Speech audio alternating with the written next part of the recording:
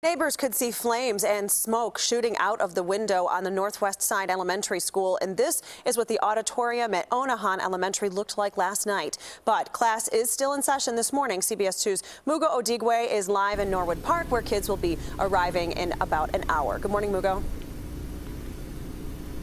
Good morning. Investigators are now looking into this as possible arson. They're also looking at wires in the auditorium as a potential cause of the fire. In the meantime, as you mentioned, students will arrive here today, but they won't be going inside this building. Instead, they'll be transported to Taft High School for classes. Now, the fire department says the flames first spread in the auditorium, but smoke also filled several hallways and classrooms which is why students will be taught at Taft High School today. The fire started after students were dismissed for the day, so no one was hurt. Onahan Elementary School officials say the plan today is to bus students from Onahan to Taft High School. Neighbors say it was alarming to see flames shooting out of the building last night.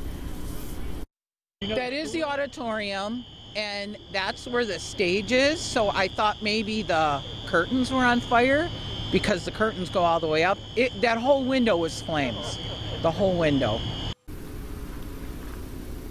Again, students will arrive at school like any normal day today, but then they'll be transported from here to Taft High School, which is about a mile away. When school is done for the day, students will be transported back here for dismissal. Live in Norwood Park, Mugo Odigwe, CBS 2 News. Mugo, thank you.